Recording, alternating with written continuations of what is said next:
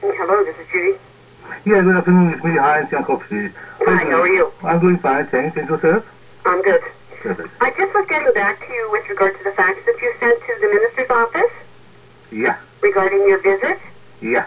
Okay, um, the only thing that I can tell you is the visits are up to your daughter and her partner. They're the ones who decide whether or not you can have a visit. I have a paper, and the paper told me uh, some service is. Well, the only thing is that that paper is expired. Oh, The time is up on that. uh huh. Okay, then. then All right, then. Thank you. Yeah. Bye. Bye-bye.